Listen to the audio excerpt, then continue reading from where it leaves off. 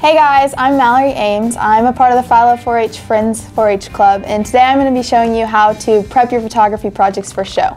So I'm going to start by talking about regular photography, so photography 1, 2, and 3. So when you're preparing your project, take hundreds and hundreds of photos and then go back later and figure out which one looks best, which one you like the most, which one you think would show the best. Choose a picture that looks nice and then you have to frame it. Your frame can be black, white, gray, whatever color you want, but it has to be an 8 by 10 Frame it in something pretty. Don't do something that's got a bunch of scratches all over it or something you wouldn't want the judges to see. If you're in photography 3, portraits is a big deal. So portraits, you want to look at their smile, their facial complexion, their clothes, the colors behind them, the background.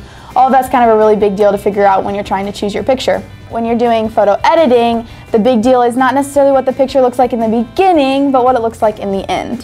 This was my photo editing project last year, and when you're trying to show it, the first thing you have to do is show the original picture. It can be a small picture, a wallet size picture, anything really, but you want to show the original picture with no editing when you took it because you want to show the major amount of editing that you did to make it the picture it is. When you're doing photo editing, a big thing is to know what software you're using. Are you using Photoshop? And then you need to know what you did to the picture. Did you clone people? Did you change colors? Did you remove things? Did you add things? All that kind of stuff is really important when you're talking to the judge. For this picture, judges asked me about the person that was in the shadows in the back of my picture. Did I clone them out? How did I get them out of the picture? Did I just cut them out? All that kind of stuff is really important. And then Colors. Colors is a big deal. When you're using Photoshop, you use layers. And so they'll ask you about the different layers you put onto the picture and all that kind of stuff is really important. When you get up to the judging, make sure that you're presentable, you look nice, you're talking loud, you're making conversation,